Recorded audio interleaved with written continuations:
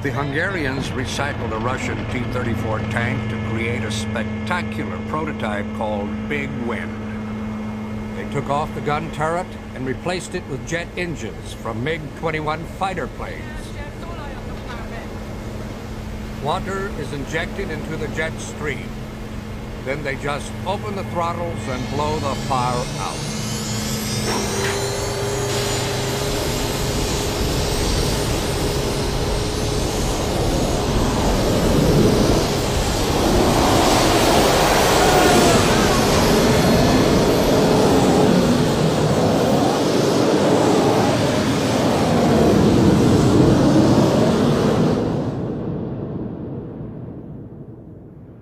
Every team in this fight brings its own special strength.